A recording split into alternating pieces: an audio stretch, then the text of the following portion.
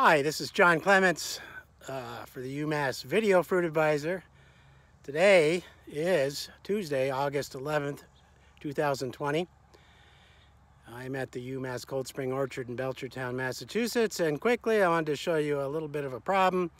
A week ago today, we had a tropical storm move through the area.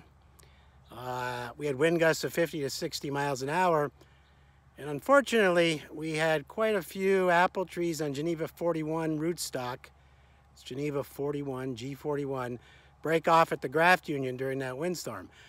Now I know G41 is somewhat brittle at the graft union when the trees are being planted. We've had problems. Did I mention it's a hot and humid day? That's why I got this goofy hat on, but what are you gonna do?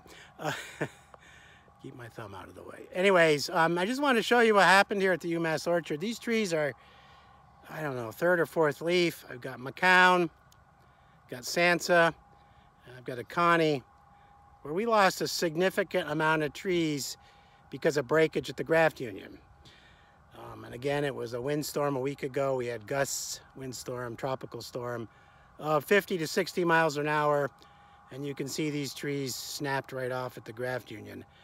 And I think I haven't counted them, but there's probably, oh, a good 50, 60, 70 trees that are broken off, which is not insignificant.